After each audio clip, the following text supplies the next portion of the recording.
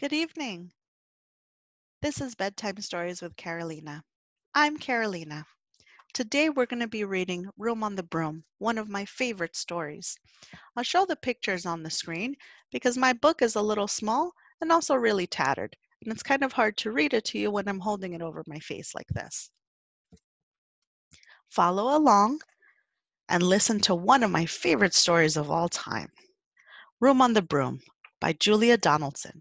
Pictures by Axel Scheffler. The witch had a hat and a cat that was black and long ginger hair in a braid down her back. How the cat purred and how the witch grinned as they sat on their broomstick and flew through the wind. But how the witch wailed and how the cat spat when the wind blew so wildly it blew off the hat. Down! cried the witch, and they flew to the ground. They searched for the hat, but no hat could be found. Then out of the bushes, on thundering paws, there bounded a dog with a hat in his jaws. He dropped it politely, then eagerly said, as the witch pulled the hat firmly down on her head, I am a dog, as keen as can be. Is there room on the broom for a dog like me? Yes, cried the witch, and the dog clambered on. The witch tapped the broomstick, and whoosh, they were gone. Over the fields and the forests they flew. The dog wagged his tail, and the stormy wind blew. The witch laughed out loud and held on to her hat, but away blew the bow from her braid, just like that. Down! cried the witch, and they flew to the ground. They searched for the bow, but no bow could be found. Then out from a tree, with an ear splitting shriek, Eek! There flapped a green bird with a bow in her beak. She dropped it politely and bent her head low, then said, as the witch tied the braid in a bow, I am a bird as green as can be. Is there room on the broom for a bird like me? Yes, cried the witch, and the bird fluttered on.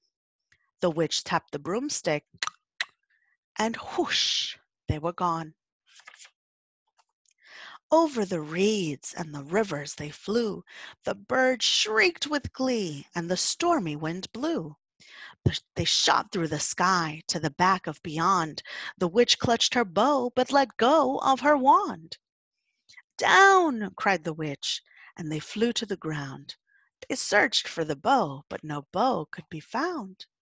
Then all of a sudden, from out of a pond, leaped a dripping wet frog with a dripping wet wand.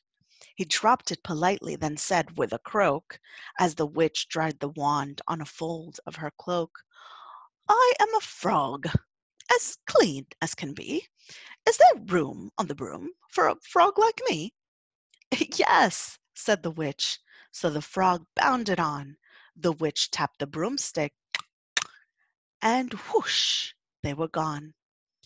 Over the moors and the mountains they flew. The frog jumped for joy. And the broom snapped in two. Down fell the cat and the dog and the frog. Down they went tumbling into a bog. The witch's half broomstick flew into a cloud, and the witch heard a roar that was scary and loud. I am a dragon, as mean as can be, and witch with French fries tastes delicious to me. No, cried the witch, flying higher and higher. The dragon flew after her, breathing out fire. Help! Cried the witch, flying down to the ground. She looked all around, but no help could be found.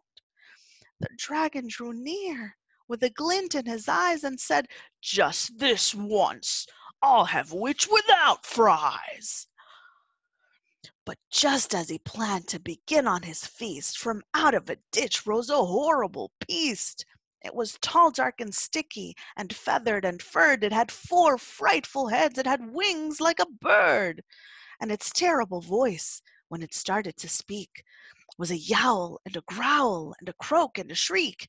It dripped and it squelched and it strode from the ditch and it said to the dragon, Buzz off!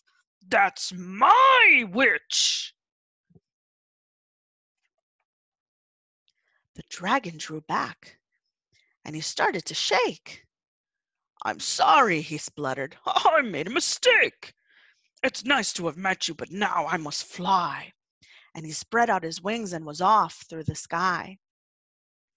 Then down flew the bird, and down jumped the frog. Down climbed the cat, and whew, said the dog. And thank you, oh, thank you, the grateful witch cried. Without you, I'd be in that dragon's inside. Then she filled up her cauldron and said with a grin, Find something, everyone, throw something in. So the frog found a lily, the cat found a cone, the bird found a twig, and the dog found a bone. They threw them all in, and the witch stirred them well. And while she was stirring, she muttered a spell.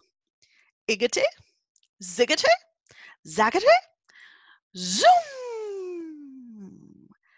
Then out rose a truly magnificent broom, with seats for the witch and the cat and the dog, a nest for the bird, and a pool for the frog. Yes, cried the witch, and they all clambered on. The witch tapped a broomstick, and whoosh, they were gone. The end. That was a wonderful story. I hope you enjoyed it as long as as much as I'd enjoyed it.